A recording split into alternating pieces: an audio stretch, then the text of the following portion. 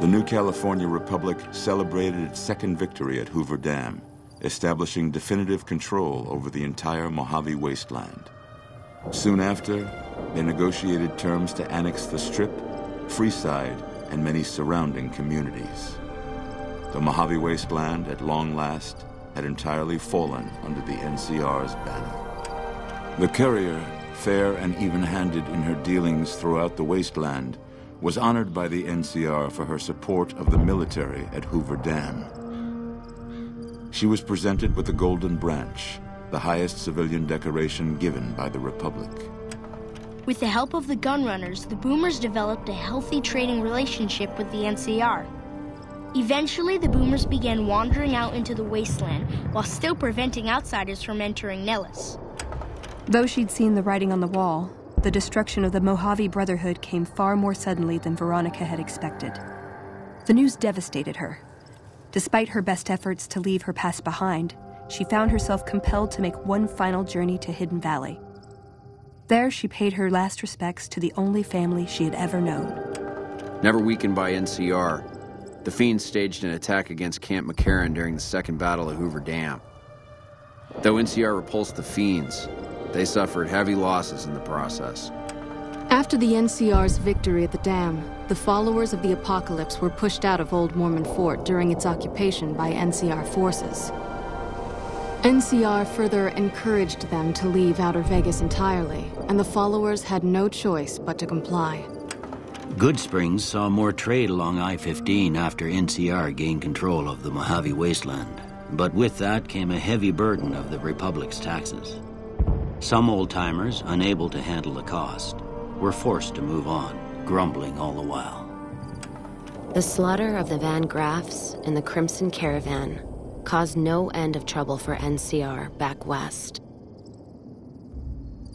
Already struggling, NCR's supply line suffered further as the two caravans withdrew support until the massacre in the east was resolved. Cass survived to see the NCR flag flying proud over Hoover Dam and thought for a moment, this is what a hero must feel like. She was about to tell the courier not to get too proud of herself. Then she figured, she knew that already. So she laughed, said fuck it all, and raised a bottle to the dam and the ones who had fought for it. As far as she was concerned, the whole thing was proof that playing out a bad hand can pay off in the end. As long as a woman, like the courier, was holding the cards. After the Second Battle of Hoover Dam, the Great Khans returned for a time to Red Rock Canyon. The NCR's pressing need to expand proved greater than its promise of amnesty, and before long the government decided the Khans had to go. The surviving Great Khans were relocated to an isolated, barren reservation well north of NCR trade routes. Thanks to the courier and Lily, a cure for the Nightkin schizophrenia was found shortly after Dr. Henry's experiment concluded. Nightkin and other super mutants in the wasteland flocked to Jacobstown, and the town became known as a haven where a mutant could find peace. Lily continued to take her medicine at half doses, and although she remembered her grandchildren, her mind remained muddled and confused. Eventually, she parted ways with the courier and traveled west, seeking the remnants of her past. After the NCR victory at Hoover Dam, the temporary truce between them and the Kings blossomed into a full-scale relief effort for the people. While the NCR made repeated entreaties that Freeside join the Republic, the Kings steadfastly maintained their independence.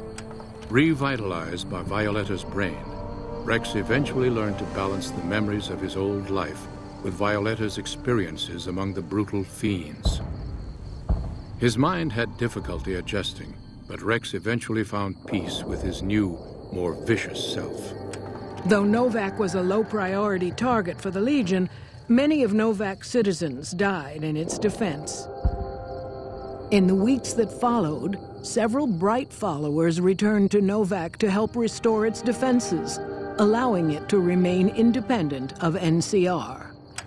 With the dam firmly in their grasp, the NCR turned its attention towards wresting the correctional facility from Powderganger hands. The Powdergangers are no match for the battle-hardened troops of the NCR, and summary execution awaited the Powdergangers who managed to survive. Armed with a wide array of improvised explosives and stolen weapons, the Vault 19 Powder Gang tormented the Mojave Wasteland for years. Citizens of the NCR were favorite targets, and they always suffered the worst fates. After Hoover Dam, NCR helps rebuild Prim as a major stopping point on the Long 15. Though Prim citizens chafe under NCR's taxes, they benefit greatly from the increased protection and merchant traffic. And so the Courier's Road came to an end, for now. In the new world of the Mojave Wasteland, fighting continued, blood was spilled, and many lived and died just as they had in the old world. Because war, war never changes.